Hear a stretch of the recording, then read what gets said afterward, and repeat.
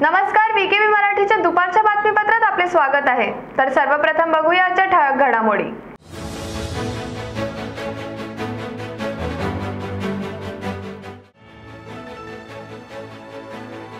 प्रसिद्ध टीव्ही कलाकार सिद्धार्थ शुक्ला यांचे हृदयविकाराचा झटका आल्याने निधन.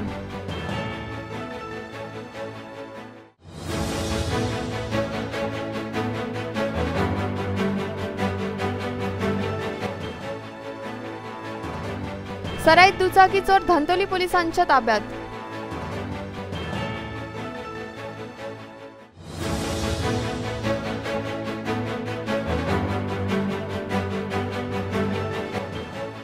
आणि एनडीआरएफ जवानाने केले युवतीवर अत्याचार. लग्नाचे आमिष दाखवून केले शारीरिक संबंध.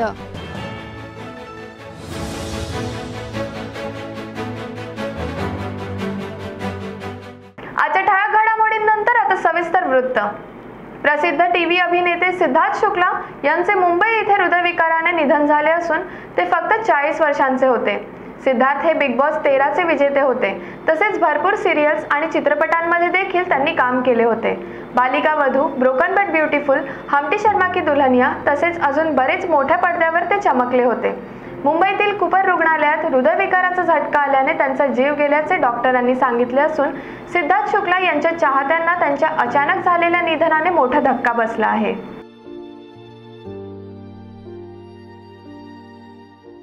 नागपुरात डायग्नोसिस पॅथॉलॉजी समोर अभ्यंकर रोडवर एक ऍक्टिवा गाडी चोरीला गेल्याची तक्रार धंतोली पोलिसांकडे आली होती.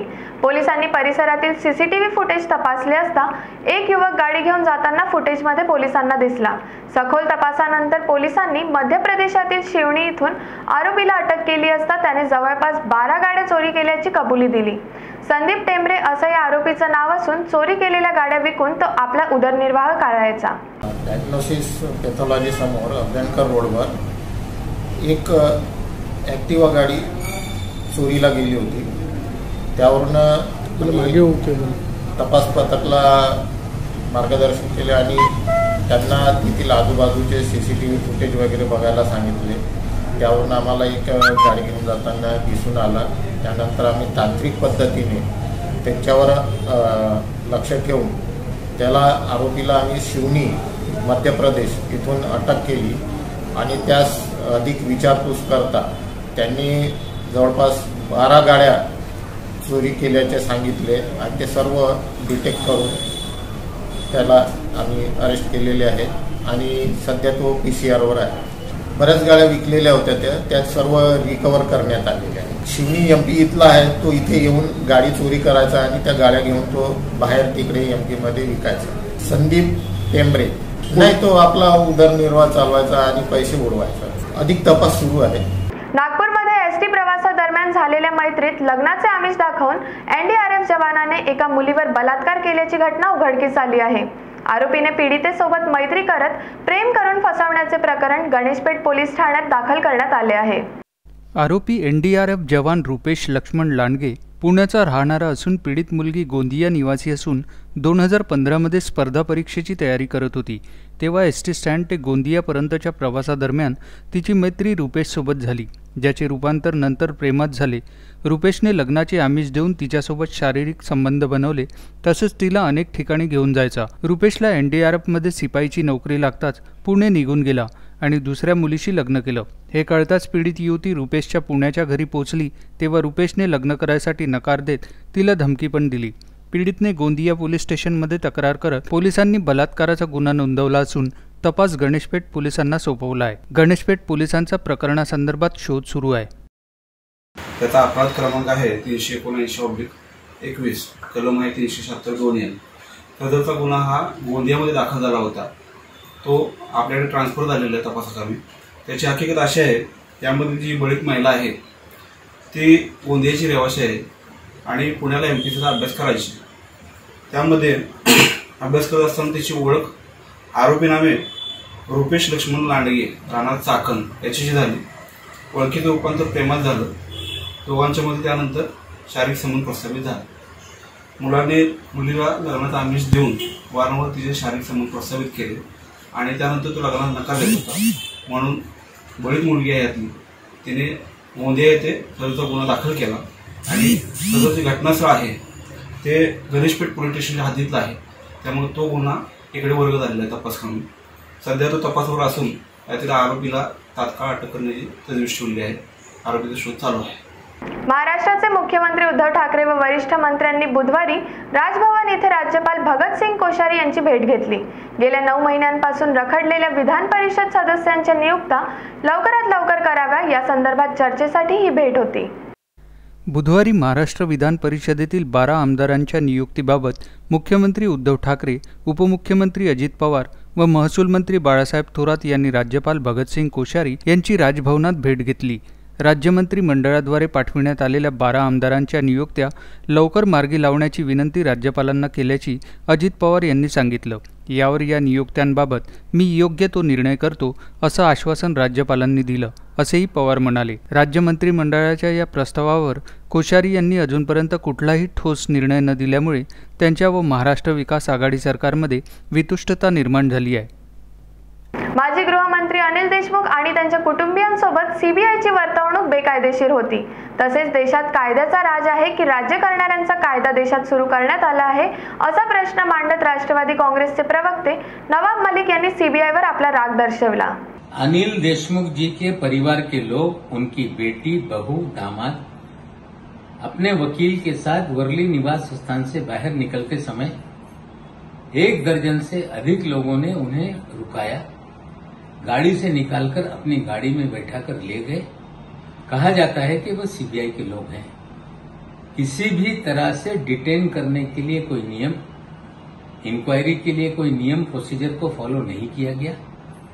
हमें लगता है कि इस देश में कानून का राज है, कि राज्य करने वालों का कानून इस देश में चल रहा है।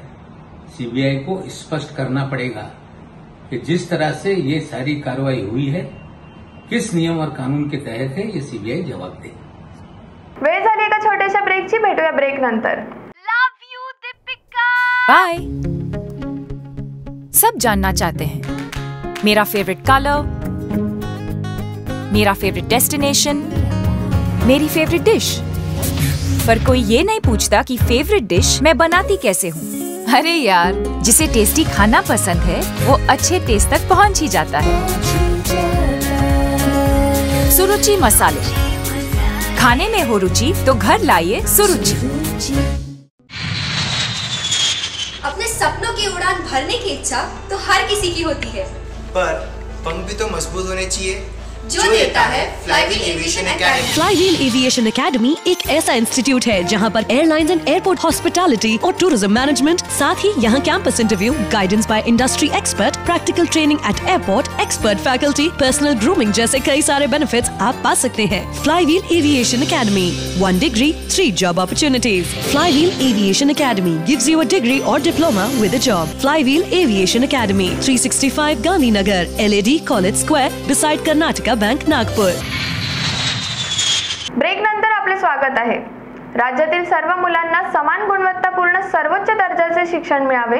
त्यांच्यामध्ये एकवीसव्या शतकातील सर्व कौशल्ये विकसित व्हावी यासाठी ठाकरे सरकारने मोठा निर्णय घेतला आहे. पाठ्यपुस्तकांच्या मर्यादेपलीकडे जाऊन शिकणे व शिकवणे या दोन्ही क्रिया घडाव्या व शिक्षणाप्रती समाज सक्रिय व्हावा यासाठी आदर्श शाळांची निर्मिती करण्याचा हा उपक्रम असून शाळांची गुणवत्ता उंचावण्यासाठी पाच मार्च दोन हजार एकवीसच्या शासन निर्णयान्वये पहिल्या टप्प्यातील निवड करण्यात आलेल्या चारशे अठ्ठ्याऐंशी शाळांसाठी चारशे चौऱ्याण्णव कोटींचा निधी मंजूर करण्यात आल्याची माहिती शिक्षण मंत्री वर्षा गायकवाड यांनी पत्रपरिषदेत दिली. आजच्या मंत्रिमंडळाच्या बैठकीमध्ये शालेय शिक्षण विभागाचे दोन विषय होते. ज्याच्यामधला पहिला विषय होता भारतरत्न राजीव गांधी विज्ञान आविष्कार नगरी संदर्भामधला. ज्याच्याबद्दल मी सांगू इच्छिते की आपल्या सर्वांना माहिती आहे की मुलांमध्ये सायंटिफिक टेम टेम्पर निर्माण व्हावा. त्याचबद्दल जिज्ञासवृत्ती जिज्ञासू वृत्ती निर्माण व्हावी क्रिटिकल थिंकिंग वाढावं.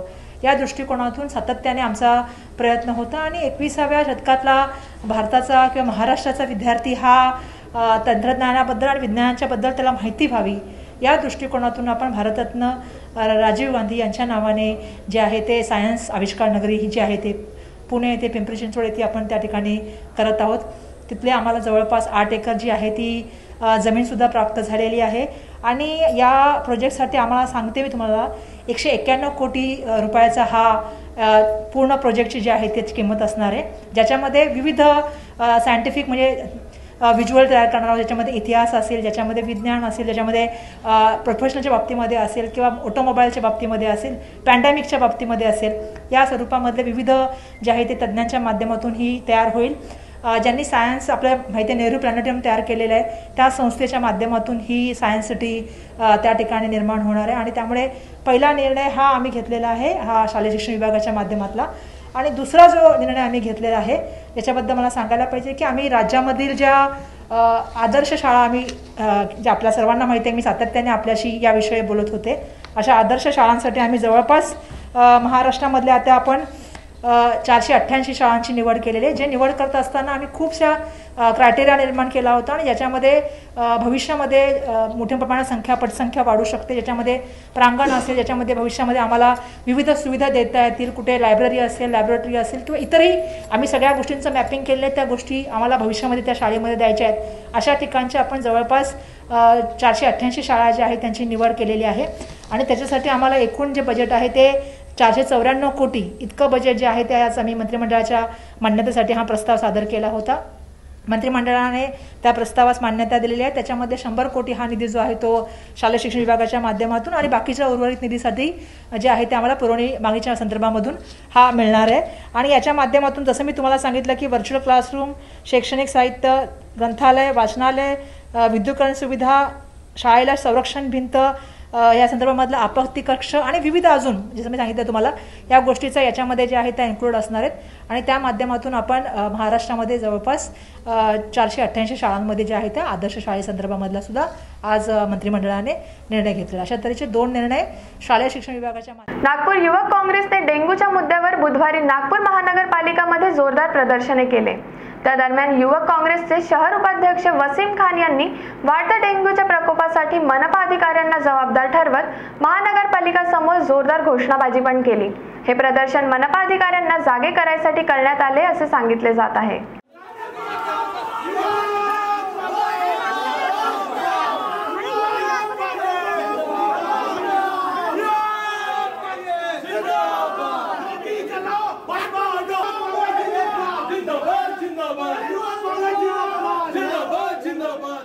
मेरा नाम वसीम खान, मैं नागपुर शहर जिला युवक कांग्रेस उपाध्यक्ष। आज का जो हमारा विषय है, हम महापौर ऑफ़िस में आए, जो डेंगू से आज आम नागरिक नागपुर के त्रस्त है। अभी नागपुर में कल का आप अपडेट देखेंगे, इकसठ हज़ार दो सौ तिहत्तर घरों में नागपुर का डेंगू का वो मिला है, अंडे मिले हैं। आज हर दसवां घर छोड़कर, नागपुर के हर दसवां घर छोड़कर डेंगू पीड़ित लोग हैं। आज नागपुर शहर में 600 से ऊपर घर डेंगू की चपेट में है। तो माना मानापा क्या सो रहा है। आज एक भी जोन में फॉग मशीन अवेलेबल नहीं है। कई कोई मोहल्लों में दवाई छिड़की नहीं जा रही है। पहले ही कोरोना से त्रस्त है। नागरिक, आम नागरिक और यहाँ डेंगू डेंगू से पीड़ित है। डेंगू की महामारी ऐसी फैली है कि बारह सौ रुपये एक चार्ज का डेंगू का लिया जा रहा है। और गरीबों के घर में डेंगू बारह सौ रुपये कौन देंगे? वैसे ही लोग कोरोना से त्रस्त है और महापौर यहाँ कोई जवाब नहीं दे रहे, मानव अधिकारी कोई जवाब नहीं दे रहे, इन लोगों को आम नागरिक का कोई कोई भी इनको आम नागरिक की फ़िक्र नहीं है। लेकिन हमको महापौर की भी फ़िक्र है और आम यहाँ के अधिकारियों की, मानपा अधिकारियों को भी फ़िक्र है। इसलिए हम यहाँ मानपा में आज फॉग मशीन और दवाई छिड़कने आए हैं कि महापौर होश में आ जाइए। नहीं तो और तीव्र आंदोलन किया जाएगा।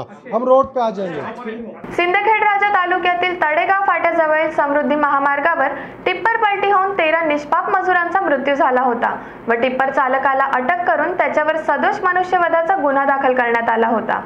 तसेच कामगार कंत्राटदार यालाही अटक करून न्यायालयीन कोठडी सुनावण्यात आली आहे. समृद्धी महामार्गावरील काम करणारे मजूर सिंदखेड राजा तालुक्यातील तडेगाव इथे त्यांच्या राहण्याच्या ठिकाणी मालवाहू टिप्परमध्ये बसून येत असताना हे टिप्पर पलटी होऊन यामध्ये तेरा निष्पाप मजुरांचा मृत्यू झाला होता. या प्रकरणी टिप्पर चालकावर गुन्हा दाखल करून त्याला अटक करण्यात आली. तसेच आणखी चौकशी केली असता कामगार कंत्राटदार हा देखील या घटनेस जबाबदार असल्याचे निदर्शनास आले असता पोलिसांनी त्याला अटक करून न्यायालयासमोर हजर केले. न्यायालयाने त्याला न्यायालयीन कोठडीत ठेवण्याचे आदेश दिले असून किनगाव राजा पोलीस पुढील तपास करत आहेत. दिनांक वीस ऑगस्ट दोन हजार एकवीस रोजी किनगाव राजा पोस्ट हद्दीत तडेगाव समृद्धी कॅम्प रोडवर मजुरांना घेऊन जात असले मजुरांना घेऊन येत असलेला ट्रक टिप्पर पलटी झाला. त्यात तेरा मजूर मृत्यू झालेत दोन गंभीर जखमी झालेत. त्यान्वये किंगावराजा पोलीस स्टेशन जिल्हा बुलढाणा येथे तीनशे चार अ दोनशे एकोणऐंशी तीनशे सदोतीस तीनशे अडोतीस भादवी कलमप्रमाणे गुन्हा दाखल करण्यात आला. त्यामध्ये यातील चालक याला अटक करण्यात आले. त्यानंतर तपासादरम्यान यामध्ये भादवी कलम तीनशे चारप्रमाणे गुन्हा म्हणजे कलमवाढ करण्यात आले.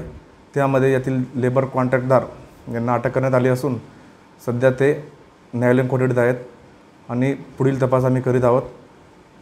थँक्यू समृद्धी महामार्गाचे काम हे जवळपास सत्तर टक्के पूर्णत्वास गेले असून सिंदखेड राजा तालुक्यातील पॅकेज क्रमांक सातमधील बांधकाम सहाय्यक कंत्राटदार रोडवेज सोल्युशन इंडिया कंपनीच्या माध्यमातून सुरू आहे. त्या कामावर हे मजूर कार्यरत होते. हे मजूर पावसामुळे काम बंद पडल्याने टिप्परमध्ये अवैधरित्या बसून आणले गेले आणि एका वाहनाला साईड देताना टिप्पर पलटी होऊन तेरा मजुरांचा त्यातच दुर्दैवी मृत्यू झाला. या संपूर्ण अपघाताचा आर टी ओकडून चौकशी अहवाल सादर करण्यात आला व टिप्पर चालक तसेच मालवाहू टिप्परचा परवाना निलंबित करण्यात आला आहे. या ठिकाणी आमच्या विभागाकडून सुरुवातीला स्पॉट इन्स्पेक्शन करण्यात आलं. नंतर ॲक्सिडेंट कोणत्या कारणामुळे घडलेला आहे कोणत्या स्पॉटवर घडलेला आहे आणि कशा प्रकारे घडलेलं आहे त्याचं स्पॉट इन्स्पेक्शन आमचे इन्स्पेक्टर मी स्वतः आमचे वरिष्ठ अधिकारी सर्वांनी मिळून स्पॉट इन्स्पेक्शन केलं. त्याची कारणं शोधली. त्यामध्ये असं निदर्शनास आलं की रस्ता जो आहे तडेगाव फाट्यापासून जो रस्ता निघतो आहे तो थोडासा कर्व आकाराचा आहे आणि खूप अरुंद आहे की त्या ठिकाणी दोन हेवी व्हेकलसुद्धा जाऊ शकत नाहीत व्यवस्थित. आणि पावसामुळे त्याचे जे रस्त्याचे जे शोल्डर आहेत रस्त्याचे जे शोल्डर आहेत ते पूर्णपणे काळी माती असल्यामुळे पूर्णपणे खचल्या गेले. आणि तो ट्रक त्या स्लोप काळी माती शोल्डर व्यवस्थित नसल्यामुळे तो ट्रक असा घसरला आणि घसरल्यानंतर त्यातले ते मजूर जे आहेत तर ते मजूर त्या ठिकाणी डेथ झालेली आहे. तर आम्ही त्यानुसार मोटर वाहन कायद्याअंतर्गत आम्हालासुद्धा वरिष्ठ कार्यालयामध्ये रिपोर्ट सादर करावा लागतो. तर त्यानुसार आम्ही मोटर वाहन कायद्यानुसार वाहनांवर कारवाई केली. तर वाहनांचं जे परमिट आहे ते आम्ही सस्पेंड केलेलं आहे. तसेच वाहन चालकाचं जे लायसन आहे ते सुद्धा सस्पेंड केलेलं आहे. आणि त्या रस्त्यावर अशा प्रकारची जर वाहतूक करत असेल तर त्या ठिकाणी आमच्या फ्लाईंग स्क्वॉडमार्फत आणि एस टी स्क्वॉडमार्फत ड्राईव्ह घेतला आम्ही आठ दिवसाचा. आणि त्यामध्ये सुद्धा तीन ते चार वाहन वाहनांवर कारवाई करण्यात आली की जे अशा प्रकारची जी गुड्समधून पॅसेंजरची वाहतूक होते अशा वाहनांवर सुद्धा आम्ही ड्रायव्हिंग कारवाई करण्यात आली. माझं हे सुद्धा सगळ्यांना आव्हान आहे. समाजमन हेलावून टाकणाऱ्या या घटनेची प्रशासनाने गंभीर दखल घेतली असून दोन जणांवर गुन्हेही दाखल करण्यात आले आहे. तसेच झालेल्या घटनेला संबंधित प्रोजेक्ट मॅनेजर जबाबदार असून त्याच्यावर देखील मनुष्यवधाचा गुन्हा दाखल करण्यात यावा अशी मागणी सर्व बाजूंनी होत आहे. एकतीस ऑगस्ट रोजी पाच पावली पोलीस ठाण्याअंतर्गत एका बारमध्ये इसमने बार मॅनेजरला दोन बियर आणि दर महिन्याला दहा हजार रुपये खंडणी मागत धमकी दिल्याची माहिती पोलिसांना मिळताच त्यांनी तात्काळ आरोपी पापा नक्केचा शोध घेऊन त्याला ताब्यात घेतले व त्याच्यावर गुन्हा दाखल केल्याचे सांगितले जात आहे. दिनांक सव्वीस आठ एकवीसला अंदाजे संध्याकाळी पाच वाजताच्या दरम्यान यातील जो आरोपी आहे पापा नक्के.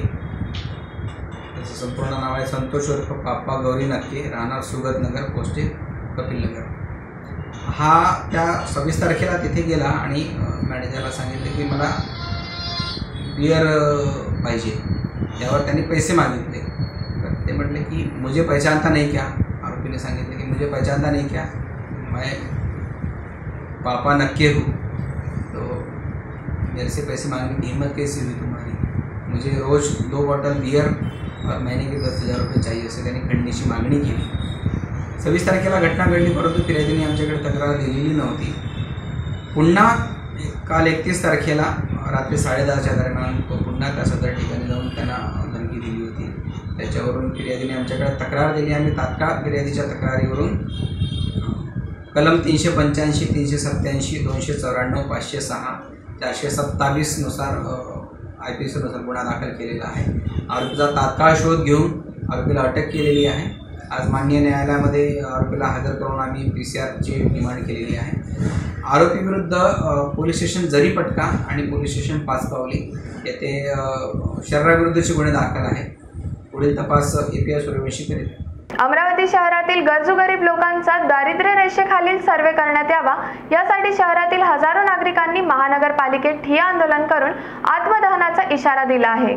यावेळी अमरावती शहरातील शेकडो नागरिक उपस्थित होते. अमरावती शहरात गेल्या अनेक वर्षांपासून दारिद्र्य रेषेचा सर्वे झाला नसल्याने गरजू गरीब लोकांना याचा लाभ मिळत नाही. त्यामुळे हा सर्वे तत्काळ सुरू करण्यात यावा. या मागणीसाठी अमरावती शहरातील शेकडो नागरिकांनी अमरावती महापालिकेत आपल्या मागण्या मांडण्यासाठी ठिय्या आंदोलन सुरू केले आहे. दारिद्र्य रेषेखाली लोक आली तर त्यांना घरकुलाचा लाभ मिळू शकतो.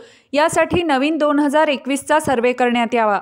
जर येत्या एक महिन्यात सर्वे सुरू झाला नाही तर चौका चौकात आम्ही आत्मदहन करू असा इशारा यावेळी आंदोलकांनी दिला. नेमकं कारण हे आहे की दोन हजार पाचमध्ये महानगरपालिकेने दारिद्र्यरेषेचा सर्वे अमरावती शहरामध्ये केला होता. मात्र गेल्या सतरा वर्षापासून महानगरपालिकेने गरीब जनतेकडे दुर्लक्ष केलेलं आहे. महानगरपालिक महानगरपालिका गरीब जनतेकडून आरोग्य टॅक्स ऑक्सिजन टॅक्स बी- वीज टॅक्स स्वच्छता टॅक्स रोड टॅक्स सर्व टॅक्स वसूल करते. मात्र महानगरपालिकेला गेल्या पंधरा व सतरा वर्षापासून गरीब जनतेचा विसर पडलेला होता. आम्ही महानगरपालिका आयुक्तांना निवेदन दिलं होतं की तुम्ही एक तारखेपर्यंत अमरावती शहरातील सर्वे करा. जर सर्वेत नसन करात तर त्याच्यामध्ये आम्हाला पत्र द्या की आम्ही या तारखेपासून या तारखेपर्यंत अमरावती शहराचा प्रत्येक नगराचा दलित वस्त्याचा बी पी एलचा कार्डाचा सर्वे करू. पण महानगरपालिकेने मला तीस तारखेला पत्र दिलं की तुम्ही आत्मदहन करू नका. आमच्या अधिकारामध्ये काहीही नाही. महानगरपालिका आयुक्त म्हणतात मग महानगरपालिका आयुक्त अमरावती शहरातील जनतेची वसुली करण्यासाठी बसले आहेत का? आमचा स्पष्ट आरोप आहे. आमचा आरोप आहे की आज आम्ही इथं हजारोच्या संख्येने आलो. महानगरपालिकेनं पाच मिनटं वेळ नाही का त्या हजारो लोकांना भेटासाठी? जर आम्ही आज महानगरपालिकांना आयुक्तांना निवेदन देणार आहोत जर आम्ही पोलिसांच्या विनंतीला मान देऊन कालचं आत्मदहन तुर्तास स्थगित केलेलं आहे जर महानगरपालिका आयुक्तांनी संपूर्ण महानगर प्रशासनाने जर एक महिन्याच्या अंदर आमच्या मागण्याच्या संपूर्ण शहराला आवश्यक आहे दारिद्र्य देशाची मागणी कार्डाची ती जर मान्य केली नाही तर आम्ही हजारो लोकांना घेऊन अमरावती शहरातील प्रत्येक चौकात चौकात आत्मदहन करू याला सर्वतोपरी मनपा प्रशासन आयुक्त जबाबदार राहतील. तर आता बीकेबी मराठी न्यूजमध्ये एवढंच. पुन्हा भेटूया नवीन घडामोडींसह. बघत राहा बीकेबी न्यूज नमस्कार.